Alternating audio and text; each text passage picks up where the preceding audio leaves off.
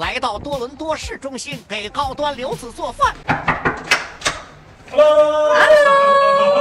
突如其来的 送礼环节，我先给公主送我们的大礼包，老父亲挑的零食啊，早餐跟是都一样的。你不要，我这么大一袋，我们只有这么小。拿年月色，大家我刚才在楼下看，我压根没有料到他们家的 view 会这么好。大家请看 CN Tower。对呀，比你们高得多的楼，靠近湖边的楼，它的 view 都比不上这里。大家是曼哈顿，OK。简直是太爽了！他们俩把这个椅子摆放的方向，直接选了一个湖的方向。然而五分钟前，楼层也不是很高，从外面看也没有觉得很高，我感觉这个楼视野应该不咋地。是我们冒昧了。说说这个楼的缺点，要不然看视频让我气气死了，知道吗？健身房还在修，还没有修好。哦，这是新楼吗？对，新楼那这算什么缺点呀？你租这个是多少钱一个月？两千四百五。我老西还在这屋里，你不可能在康乐进这种燃气的，你们那个房东自己改的，整栋楼的，整栋楼都有。还说这个康乐有什么缺点？没有 缺点。隔音挺大。哦，个排风扇一看就不给力。对，很小。他们给我们做了芒果饭，我就问一个问题：这草莓酸吗？还没吃哎，我尝尝。你吃了吗？我没吃过我也没吃。是不甜的。说主要是有菜谱，我们就能做。那这个炸鸡柳做不出来。今天让我们的刘子公主吃上校门口的炸鸡柳。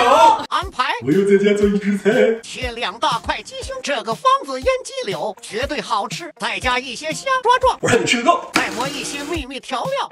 老父亲真要在矿泉水瓶盖上打孔，把调料灌进瓶子。公主家的油随便用，出国后第一次用明火。我都不会用，腌好的鸡柳倒进袋子，让少爷倒一些淀粉，反正不是我们家淀粉，说点道理。倒掉多余的淀粉，开炸。加拿大公寓配明火灶，油炸效率高了一百倍，炸完的趁热尝。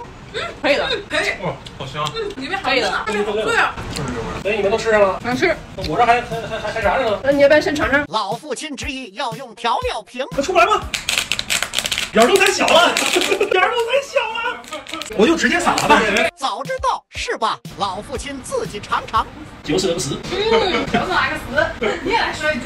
九死哪个死？